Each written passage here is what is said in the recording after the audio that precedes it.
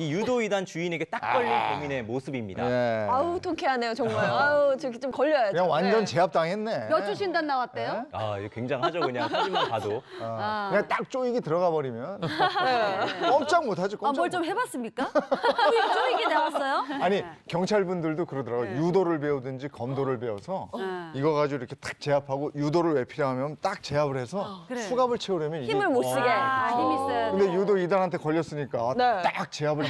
어, 멋지다. 꼼짝 못하죠. 그럼 네. 그럼. 이번 네. 사건 관련 영상 확인하면서 한 번씩 말씀드리도록 하겠습니다.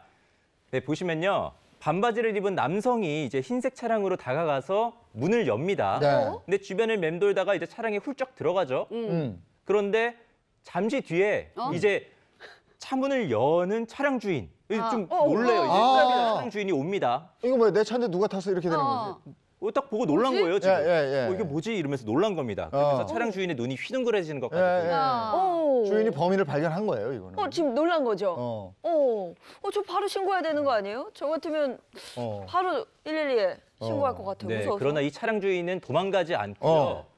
다시 한번 용감한 행동을 했다고 하는데 그것도 영상으로 한번 살펴보시겠습니다. 네.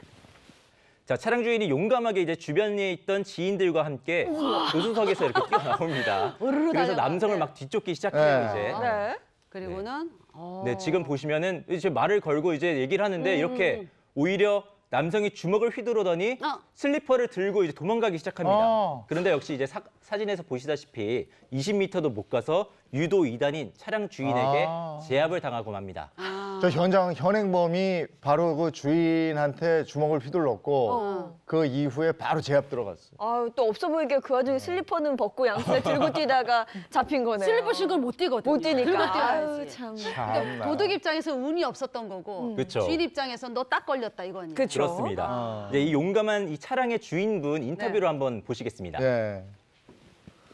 조수석 수납- 수납함하고 이제 가운데 수납함을 이렇게 뒤적이고 계셔가지고 너무 당황스러워가지고 이제 누구시냐 물어봤는데도 말씀이 없으셨고 팔 잡고 제가 다리 걸어서 이렇게 넘겨뜨렸어요. 그런 다음에 이제 뒤로 돌아서 팔목을 꺾은 다음에 등을 이렇게 누르고 있었죠.